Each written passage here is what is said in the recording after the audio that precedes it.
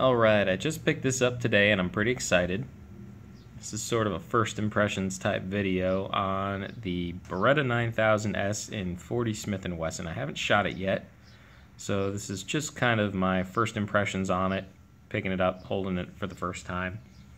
I'm pretty excited about this, uh, and it kind of defies my typical convention because I don't like tilting barrels, and I've always sworn I'd never have a polymer gun, and now I have both in a Beretta, which is weird. Very weird. That's not typical for them. This was the first polymer gun that they put out on the market in 2000, and they took it off the market in 2005 to make room for the PX4 series, which kind of encompasses the target audience that they were aiming for. It's Italian made, it's not made in the US. Uh, its biggest claim to fame was Minority Report, the gun that was used by Tom Cruise's character in the film. It's been in a few other movies and stuff like that. For the most part, though, it's pretty obscure. You don't see them very often, especially because they're not made anymore. They're very hard to find. One of the most unusual things about it is the tilting barrel. And it's not just because Beretta typically doesn't use a tilting barrel system, but it's because it's not a typical Browning Petter style locking block. It's not the same action as a Browning high power or a Glock or a SIG. It's different, and I'll show you how it's different when I take it apart. Uh, it achieves the same thing, but it doesn't quite work the same mechanically. Uh, another thing is the safety. Uh, it can be uh, cocked and locked, and it does have a decocker. Being able to carry a Beretta cocked and locked is also unusual. They don't make a lot of guns that work that way, uh, but they have some other ones. The purpose of this gun is concealed carry. It's a double stack. Uh, it's wide on top and skinny on the frame, which is also unusual. Uh, but it's certainly a lot smaller and and lighter than carrying something bigger and bulkier like a 92 or an 8000. I've been carrying the 8000, and this is about 200 ounces lighter, and it carries the same amount of ammunition. So it's it's a step up. It's an improvement, especially for the summertime. But still not quite as small as something like a Smith and Wesson Shield or an XDS or a Glock 43. Uh, one of the first things that strikes me is that this is basically uh, Beretta's strange twisted hybrid between a Glock 26 and a CZ75. Uh, it has the very, uh, very thin uh, upper slide. Most of it is concealed inside the frame, and then it attaches inside the frame uh, and tracks inside the frame instead of outside, kind of like a CZ75. And then you have the safety, which is set up the same way. And in terms of size and construction, uh, very similar in size to a Glock 26, maybe a little bit bigger. It's a little better on ammo comes with 10 round magazines. This one only came with one. It was used. Uh, one of the cool things that they innovated with this gun, though, was the built-in finger extension, which they still sell in the PX4 Storm subcompact uh, magazine. In fact, I've heard a lot of people say the only thing they like about the Storm subcompact at all is the magazine extension. It's very clever, and to my knowledge, because they've got it patented. Hey, look at that. Uh, nobody else sells anything like this. So you can bring it up for concealed carry, or if you got bigger mitts like mine, you can pop it out, and then you don't gain a lot of height, but you do have a much better grip for your pinky. Okay.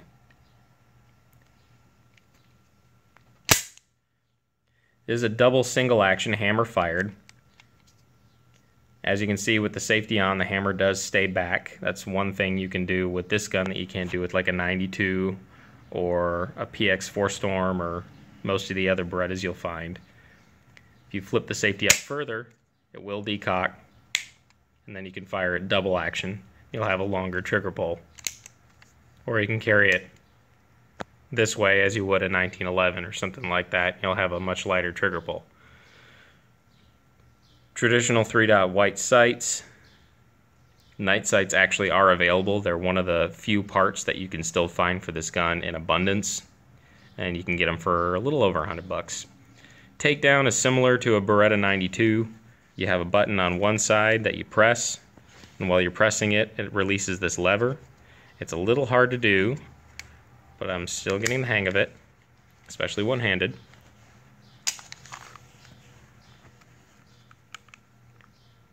And then once that lever is flipped, the slide will slide forward and off the gun. And then from there, you have your captured recoil spring, polymer guide rod, and your barrel. And you can see right here, these two locking lugs on the side of the barrel are what makes it different than a Browning Petter. They don't engage into a single lug on the bottom and a big giant block on top which gets pushed down by the slide. They sit into the slide right here and then engage into these two grooves in the frame. So there's your difference. Like I said, it achieves the same thing, but it's a different locking system, technically speaking. Uh,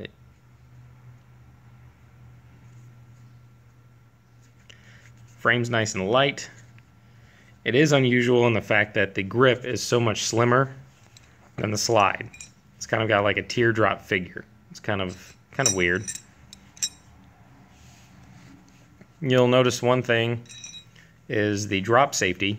It's kind of an interesting uh, shape to it. It looks a lot like a Glock's drop safety on the inside, that little round button right there, but it pushes up into this Beretta style drop safety up on top, which is kind of similar to the 92s and the PX4s but that device is in place so that you can basically chuck this thing across a parking lot with a round in the chamber and it won't go off. That's pretty typical of guns these days. Reassembly, it's easy, same way. I can even do it one-handed.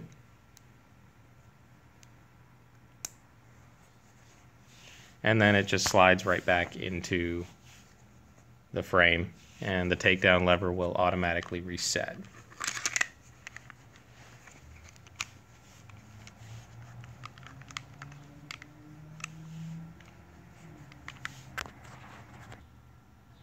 Some other cool features and gizmos are the magazine release, which I believe is reversible. It's not truly ambidextrous, but it is reversible. The safety and decocker is reversible, is ambidextrous, I should say. You can manipulate it from both sides. And then what's typical on Berettas now is an extractor, which is also serving as a loaded chamber indicator. If there were a round in the chamber, which of course there's not, uh, you would be able to see a small red tab. And because it sticks out, it's tactile, so you can feel it in the dark. Say someone comes in in the middle of the night, all you have to do is run your thumb over this, you don't have to turn the lights on. You don't have to do a brass check and look. You can just feel that there is a round in the chamber and the gun is ready to go. For safety reasons, you always want to pull back and check anyway, but uh, if you're not able to, you don't have to. Because this is an Italian-made Beretta, you will see the proof marks stamped on the frame.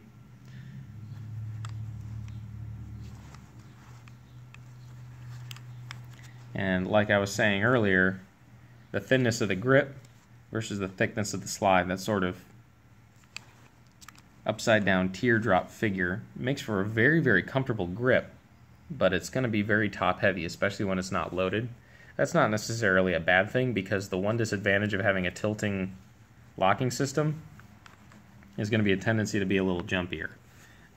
Beretta typically doesn't make guns with tilting locking mechanisms, and usually I like to applaud them for that because they like to stick towards locking systems like falling block or rotating barrel that don't jump around on you. They absorb recoil better.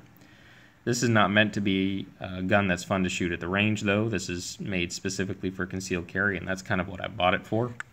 So I'm going to switch over from my uh, 8000 to this and start carrying it for a little while and see what I think. And of course, I'm going to take it to the range next week and run a few hundred rounds through it and see how I really, really like it. But first impression is it's it's nice. Uh, it's definitely not the best concealed carry gun out there. I think it's better than the PX4 Storm Subcompact by a long shot.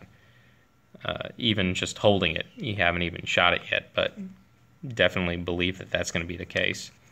And it's certainly better for the summertime and warm weather than carrying a full size gun like an 8000 or a 92. So I'm sure you'll hear from me again on what I think about this, but for now, I'm pretty excited and pretty happy with it.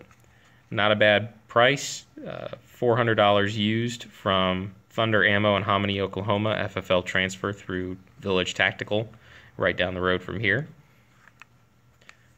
And I'll probably be carrying my typical self defense load, which is uh, Federal Hydra-Shok 155 grain. I'll let you know what I think after I've shot it. Until then, thanks for watching.